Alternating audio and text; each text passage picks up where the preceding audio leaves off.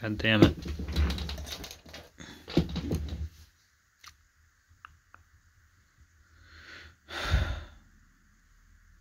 Come on. Come on. I don't think this is gonna work. Uh, well, here's the deal, folks.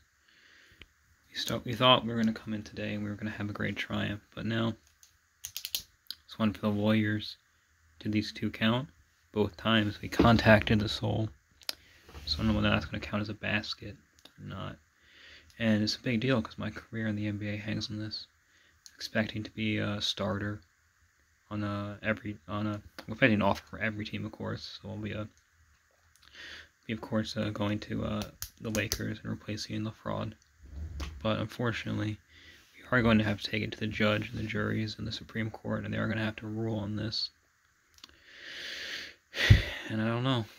They got it out for me. I think I don't. I don't know, guys. I just don't know. I think LeFraud might get to keep his job for a little bit, and that just makes me fucking sick. And it's just all because the goddamn courts.